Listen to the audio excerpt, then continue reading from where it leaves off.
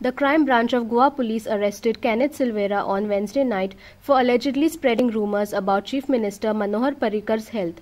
Silveira, who had contested against Parrikar as an independent candidate in the Panjim bypoll in 2017, was arrested on a complaint by President of Panjim Mandal of BJP, Deepak Mhapshekar. I'm aware that Parrikar's condition is stable and he was responding well to the treatment, Mhapshekar said in his complaint.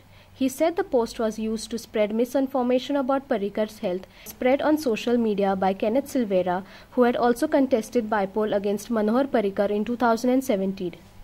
Hearing was about uh, the bail that uh, Mr. Kenneth Silveira has applied for because his uh, arrest and uh, detainment has been um, illegal and uh, clearly arbitrary.